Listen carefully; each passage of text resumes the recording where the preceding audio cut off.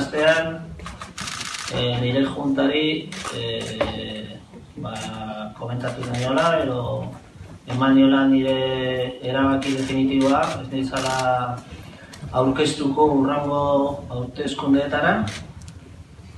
Eta horren e, erabaki hori eman ondoren, gure elkarrizketan, ba, ikusi genuen e, konbokatzoko fetza zela e, abenduaren hogeita zazpian.